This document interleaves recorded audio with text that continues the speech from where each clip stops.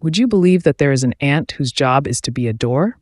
Yes, by God, I'm not kidding. In tropical forests, there is a species of ant called the plughead ant. It has a strange appearance. Its head is large and flat like a lid.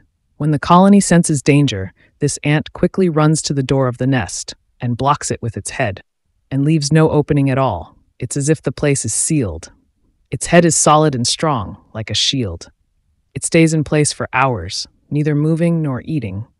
If anyone tries to approach it, it makes a sound with its jaws, as if to say, Go away. It does this to protect the other ants, to protect the queen, the eggs, and those inside the nest. The strange thing is that not all ants are like this, but there's a special group that God created this way to be the guards, and literally the door to the colony. Glory be to God. Even in insects, there is order, sacrifice, and a job for which each one was created.